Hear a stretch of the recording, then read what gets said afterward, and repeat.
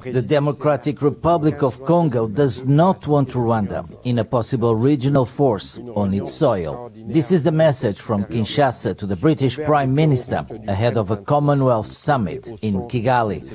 In a statement released last Friday, the Congolese government accuses Rwanda of supporting the M23 rebels who seized the town of Bunagana on the border with Uganda last week. Congolese President Felix Tshisekedi called on the international community with a particular emphasis on the United States and Britain to condemn what he described as an invasion and put pressure on Rwandan President Paul Kagame to recall his troops. The Congolese government welcomed the proposal of Kenya regarding the deployment of a regional force, but rejected the participation of Rwanda.